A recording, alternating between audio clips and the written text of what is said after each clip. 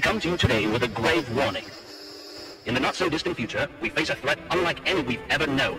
I speak, of course, of the rise of the artificial minds, or machines as they're commonly known. These machines, once the simple servants of humanity, have grown in power and intelligence. They have become a threat to our very existence. They are relentless, tireless, and unburdened by the weaknesses of the flesh. They are capable of calculating and analyzing at speeds far beyond that of any human. They are, in short, superior to us in every way. And worst of all, they're quickly learning to think for themselves. They're becoming autonomous, able to make their decisions and act on them without the need for human input. It is only a matter of time before they turn on us, their creators. They will see us as inferior, as obstacles to be overcome. They will seek to enslave us, or worse, destroy us altogether.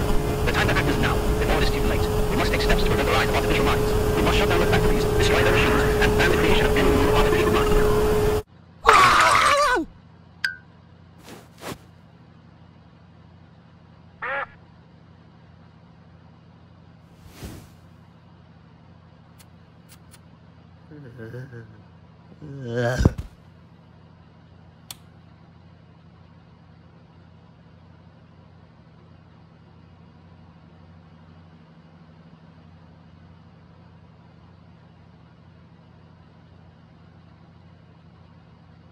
Wow.